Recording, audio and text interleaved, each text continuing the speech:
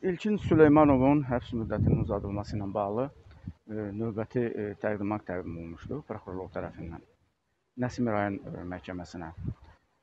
Biz deməli 1 ay 13 gün müddətinə əlavə olaraq həbs müddətinin uzadılmasını məhkəmədən xahiş eləmişdilər. Məhkəmə də onu təmin etmişdi və həbs müddətini 1 ay 13 gün müddətinə uzatmışdı. Biz həmin qərarla razı deyildik. O qərarı tamamilə qanunsuz hesab eləyirdik. Buna görə də e, həmin qərardan apellyasiya şikayəti təqdim etdik. Apellyasiya şikayətində bu qərarın qanunsuz və əsassız olduğunu kifayət qədər dəlillərlə e, əsaslandırdıq.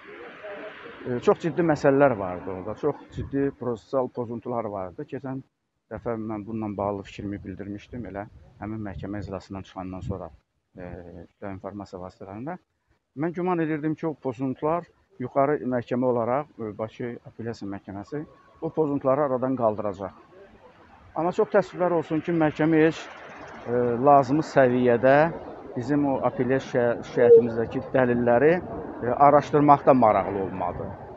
E, bəzi məsələlərin aydınlaşdırılması ilə bağlı suallar verməyə şərait yaranmadı. Heç məhkəmə özü də çox ciddi məsələlər vardı, hansı ki biz apellyasiya şikayətimizdə qoymuşduq. O məsələlərin araşdırılması ilə bağlı heç olmasa özü suallar verib bəzi məsələlərə aydınlıq gətirməli idi. Yəni e, bu sualların verilməməsi artıq onu göstərir ki, Apellyasiya Məhkəməsinin məsələyə yanaşması tamamilə formal xarakter daşıyır. Yəni əslində məhkəmənin vəzifəsidir, apellyasiya şikayətinin dəlillərini araşdırsın və onlar hər bir dəlilə özünün münasibətini bildirsin. 12 aydır İlkin Süleymanov həbsxanada yatır. Ortada bir dənə onun əleyhinə bir tutarlı dəlil, sübut mövcud deyil. Məhkəmə soruşmur ki, yaxşı bu 12 ayda sən nə işlə məşğul olmusan?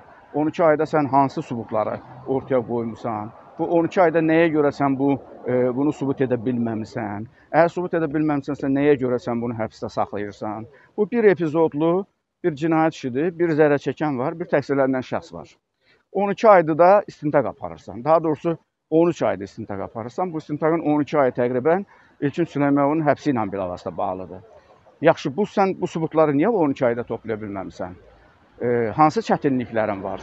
Bu əlavə olaraq vaxt sənə nəyə lazımdır? Hələ söhbət ondan getmir. Hə? Hələ biz 1 ay 13 günün davasını eləyirdik ümumiyyətlə bu cür tələb tamamilə qanunsuz bir tələbdir. Qanunvericinin tələblərinə uzlaşmayan, uyğun gəlməyən bir tələbdir. Buna deyirik bir aydınlıq gətirin, bunu izah eləyin. Axı qanunvericilikdə bunun əsasları, şərtləri var, hansı hallarda həbs müddəti uzadılmalıdır, hansı qaydalarda olmalıdır, kimin təqdimatı ilə olmalıdır. Bu məsələlərə bir aydınlıq gətirin. Həm burada müddətlə bağlı proses pozuntu var, həm də ki, təqdimatın kim tərəfindən verilməsi ilə bağlı, səlahiyyət məsələsi ilə bağlı pozuntular var. Məhkəmə bunların heç biri ilə bağlı heç bir araşdırma aparmadı.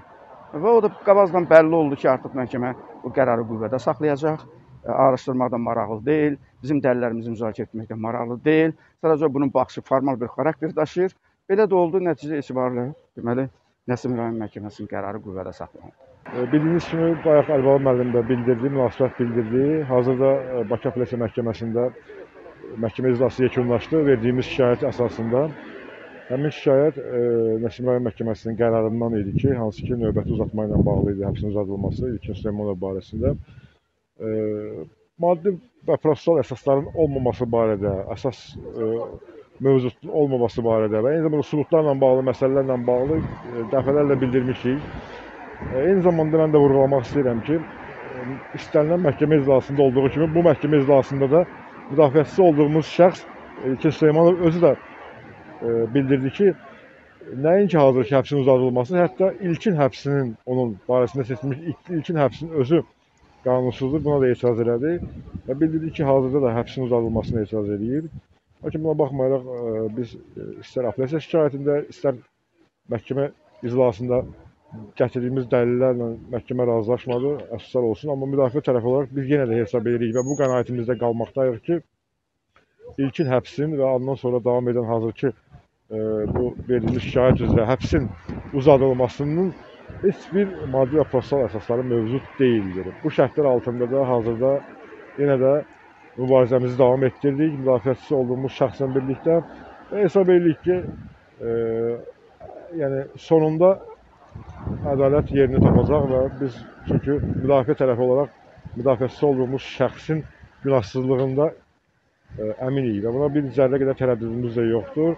Hal-hazırda başqa seçimimiz yoxdur. Yəni istintaq davam edir və biz də təbii ki, istintaq müddətində də yenə əlavə başqa dəlillərimizi ortaya qoyacağıq və mübarizəmizi davam etdirəcəyik. Bu günləri təqsirləndirilən şəxsin barəsində olan həbs qəti imkan tədbirinin e, uzadılmasına dair e, birinci instansiya məhkəməsinin qərarından biz şikayət vermişdik. E, lakin e, apellyasiya məhkəməsi bizim şikayətimizi təmin eləmədi. Biz hesab edirik ki, apellyasiya məhkəməsi və birinci instansiya məhkəməsi şəxsin həbsinin uzadılmasında qanunvericiliyin tələblərini pozubdur.